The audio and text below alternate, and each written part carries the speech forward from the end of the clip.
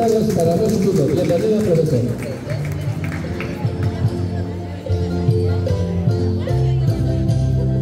Eh, compañeros, estudiantes de esta gloriosa institución, a los licenciados, facilitadores de los diferentes cursos, a la coordinadora FEDE y a representantes de educación de este municipio, tengan todos una buena mañana.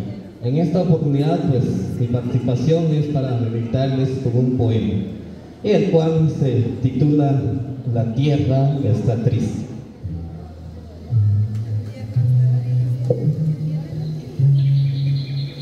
La tierra está triste porque el hombre desprecia la pureza del aire,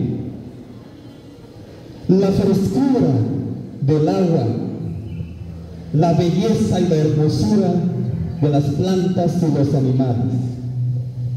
La tierra está triste porque el hombre bota los árboles que le dan la sombra y la vida. La tierra está triste porque el hombre mata el venado, el oso, el puma, mata también el águila, ardillas, los micos y pericos, hasta el quetzal, el ave nacional. La tierra está triste porque el hombre tira la basura en las calles, en las aguas, sin temor alguno. La tierra está triste porque el hombre se está quedando solo, porque destruye y destruye.